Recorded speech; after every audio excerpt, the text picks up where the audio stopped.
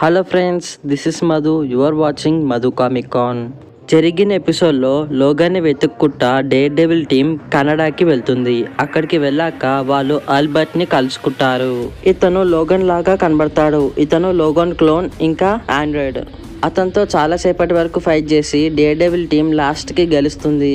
అయితే అప్పుడే సైఫర్ ఒకటి కనబడతాడు. అదేంటంటే చికాగోలో కలుసుకున్న ఒక సెక్యూరిటీ గార్డ్ ఎప్పటి నుంచో సోషల్ మీడియాలోకి రాలేదు. వాళ్ళకి అనుమానం వచ్చి అతని కలవనికి మళ్ళీ వెళ్తారు. అప్పుడు వాళ్ళకి తెలుస్తుంది అతను చనిపోయాడని. వాళ్ళు ఏదైనా చేద్దామనే లోపలనే ఆ బిల్డింగ్లో ఒక పెద్ద బాంబ్ బ్లాస్ట్ అవుతుంది.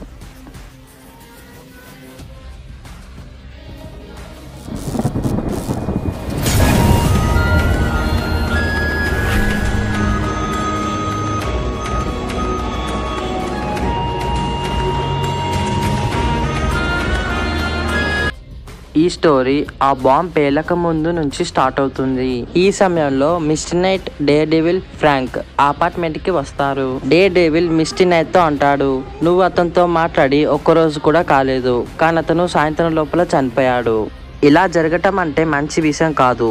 సైఫర్ని ప్లేన్ లోపల వదిలేశారు. అతను అక్కడ ఉండటమే సేఫ్ అతనికి. వాళ్ళు లోపలికి వెళ్ళాక డే డేవిల్ సెన్సెస్ అతనికి చెప్తాయి. లోపల ఏదో ప్రమాదం ఉందని.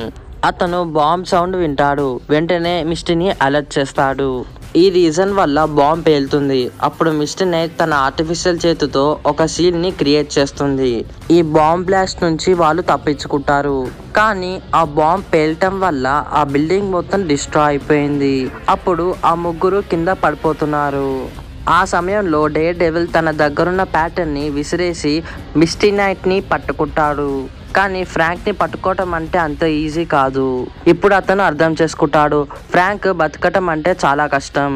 కానీ అప్పుడే మిస్టీ తన చేతిని ఎక్స్టెండ్ చేసి ఫ్రాంక్ని పట్టుకుంటుంది. ఇప్పుడు వాళ్ళ ముగ్గురు తప్పించుకున్నారు. కానీ బాంబ్ పేలటం వల్ల బిల్డింగ్ మొత్తానికి నిప్పు కొట్టుంది ఇది చూసి వాళ్ళ ముగ్గురు అర్థం చేసుకుంటారు. ఇంకా వాళ్ళ పని అయిపోలేదు. వెంటనే అక్కడ ఉన్న వాళ్ళందరినీ కాపాడుతారు. కానీ ఆ బిల్డింగ్ లోపల ఉన్న వాళ్ళని కాపాడటం వాళ్ళ పని కాదు. లోగాన్ని వెతకటం వాళ్ళ పని. ఈ పని అనేది అసలు సరిగ్గా జరగలేదు. ఇప్పుడు వాళ్ళ దగ్గర ఎలాంటి ప్రూఫ్ కూడా లేదు. అప్పుడు ఫ్రాంక్ చెప్తాడు అతను తన పవర్స్ని యూజ్ చేసి ఆ క్రైమ్ సీన్ని ఫొటోస్ తీసి అతని బ్రెయిన్లో స్టోర్ చేసుకున్నాడని. అయితే ఆ ఫొటోస్ అన్నిటిని అతను అబ్జర్వ్ చేస్తున్నాడు. అప్పుడు వాళ్ళందరికీ తెలుస్తుంది ఆ సెక్యూరిటీ గార్డ్ సొటేరియా అనే కంపెనీలో పనిచేస్తున్నాడు. ఇప్పుడు వాళ్ళ ముగ్గురు కలిసి సొటోరియా హెడ్ క్వార్టర్స్ దగ్గరికి వెళ్తారు. అక్కడికి వెళ్ళాక డే డెవిల్ రేడార్ సెన్స్ని యూజ్ చేసి లోపల స్కాన్ చేస్తాడు.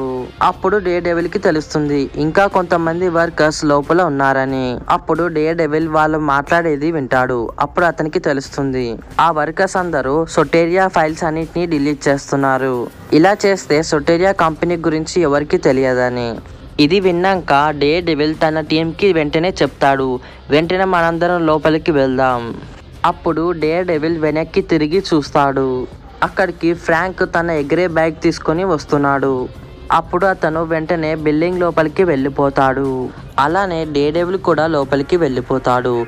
లోపలికి వెళ్ళాక ఫ్రాంక్ తన గన్ తీసి అక్కడున్న వర్కర్స్ మీద పాయింట్ చేసి చెప్తాడు. మీ అందరూ ఏమీ చేయకుండా అలానే ఉండాలి. సైఫర్ వెంటనే వెళ్ళి ఆ డిలీట్ అవుతున్న ఫైల్స్ అన్నిటిని కాపాడు. ఈ మాట విన్న తర్వాత సైఫర్ వెంటనే వెళ్ళి తన పని చేస్తున్నాడు. అప్పుడు డేడెవిల్ అంటాడు నువ్వు రీస్టోర్ చేయగలవా? అప్పుడు సైఫర్ ఏం మాట్లాడకుండా థమ్స్అప్ పెడతాడు. అప్పుడు ఆ వర్కర్స్లో ఒక వ్యక్తి అంటాడు మా దగ్గర సెక్యూరిటీ కూడా ఉంది. ఈ మాట అన్న తర్వాత అక్కడికి హై సెక్యూరిటీ వాళ్ళందరూ వస్తారు. ఆ ముగ్గురిని చూసిన తర్వాత ఆ సెక్యూరిటీ వాళ్ళందరూ వాళ్ళ మీద కాలుస్తూ ఉంటారు. డే డెవిల్ ఇంకా ఫ్రాంక్ ఏదో విధంగా దాచుకుంటారు. అప్పుడు ఫ్రాంక్ అంటాడు ఎప్పటి వరకు అయితే సైఫర్ ఆ ఫైల్స్ అన్నిటిని కాపీ చేస్తాడో అప్పటి వరకు మనం అతన్ని కాపాడాలి. అప్పుడే సడన్గా ఒక పెద్ద బ్లాస్ట్ అవుతుంది. అప్పుడు వాళ్ళందరికీ తెలుస్తుంది ఈ బ్లాస్ట్ చేసింది ఎవరో కాదు మిస్టీ నైట్. మిస్టీ నైట్ అక్కడికి వచ్చేసింది. ఈ బ్లాస్ట్ అయినా కానీ వాళ్ళు లేచి వాళ్ళ మీద కాల్చటం మొదలు పెడతారు. అప్పుడు మిస్టీ నైట్ తన ఆర్టిఫిషియల్ చేతితో ఒక షీల్డ్ని క్రియేట్ చేస్తుంది. సైఫర్తో చెప్తుంది మన దగ్గర అంత సమయం లేదు. అప్పుడు సైఫర్ అంటాడు నేను అర్థం చేసుకోలేకపోతున్నాను వీళ్ళందరూ ఎవరు? వీళ్ళ దగ్గర హైటెక్ ఆర్మర్ ఇంకా చాలా హైటెక్ వెపన్స్ ఉన్నాయి. ఇలాంటి బిల్డింగ్స్లో ఇలాంటి హైటెక్ వెపన్స్ ఉండటం అంటే ఏదో విచిత్రంగా ఉంది. అప్పుడు మిస్టీ అంటుంది నా సీల్డ్ డియాక్టివేట్ అవుతుంది వెంటనే మనం వెనక్కి వెళ్దాం.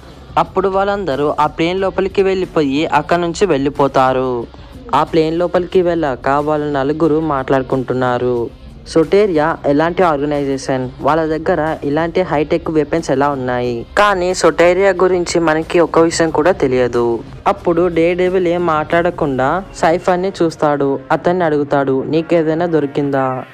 అప్పుడు సైఫర్ తన దగ్గరున్న పెన్ డ్రైవ్ తీసి అక్కడున్న కంప్యూటర్కి కనెక్ట్ చేస్తాడు. ఆ పెన్ డ్రైవ్లో ఉన్న వాటిని చూశాక వాళ్ళ ముగ్గురికి ఒకే మాట వస్తుంది. ఇదంతా ఎలా అయ్యింది? ఎందుకంటే ఆ పెన్ డ్రైవ్ లోపల చాలా ఇన్ఫర్మేషన్ ఉంది. చెప్పాలంటే ఆడియో ఫైల్స్ వీడియోస్ ఫొటోస్ ఇంకొన్ని టెక్స్ట్ ఇంకొన్ని వేరేవి. కానీ ఈ పెన్ డ్రైవ్లో ఉన్న ఇన్ఫర్మేషన్ మొత్తం ఒకరి గురించే ఉంది. ఆ వ్యక్తిని ఎప్పటి నుంచో వీళ్ళందరూ వెతుకుతున్నారు. అతని పేరు వచ్చేసి లోగన్. ఆ వీడియోస్లో బుల్లెట్స్ ఒక సౌండ్ ఇంకా ప్రజల ఒక అరుపులు. అంతేకాకుండా వాళ్ళందరినీ కట్ చేసే సౌండ్ కూడా వినబడుతుంది.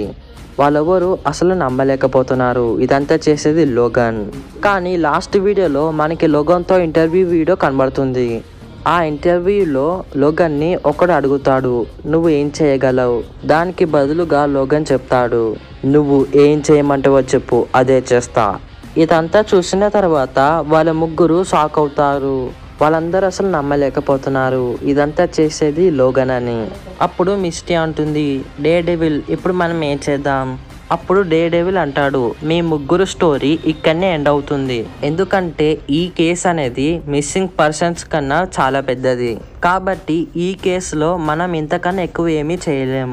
అప్పుడు ఫ్రాంక్ డే డెవిల్తో చెప్తాడు నువ్వు ఆ పెన్ డ్రైవ్తో ఏం చేస్తావు? అప్పుడు డే డెవిల్ అంటాడు నేను ఈ పెన్ డ్రైవ్ని కిటీ బ్రైట్ చేతికి ఇస్తాను. ఎందుకంటే డే డెవిల్కి తెలుసు లోగన్ని వెతికే టీం వాళ్ళొక్కరిదే కాదు వేరే టీమ్స్ కూడా లోగన్ని వెతుకుతున్నారు. కాబట్టి వేరే టీమ్స్ కూడా తెలియాలి లోగన్ ఏ విధంగా మారాడని.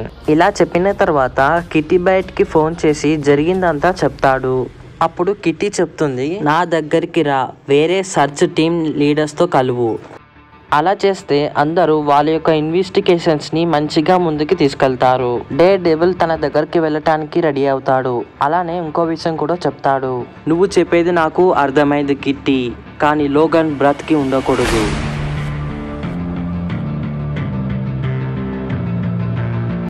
ఇక్కడతో ఎపిసోడ్ సిక్స్ కంప్లీట్ అయింది. దీని తర్వాత ఏమైంది అనేది నెక్స్ట్ ఎపిసోడ్లో చూద్దాం. ఇక నెక్స్ట్ ఎపిసోడ్ నుంచి మనం టోనీ స్టాక్ని చూస్తాము. అలానే నేను చూస్తాను. ఈ వీడియోకి ఎన్ని లోగన్ లైక్స్ వస్తాయని. సో ఎవరైనా మన ఛానల్కి కొత్తగా వస్తే సబ్స్క్రైబ్ చేయండి. న్యూ అప్డేట్స్ కోసం టెలిగ్రామ్ గ్రూప్లో జాయిన్ కండి. Thanks for watching signing off Madhu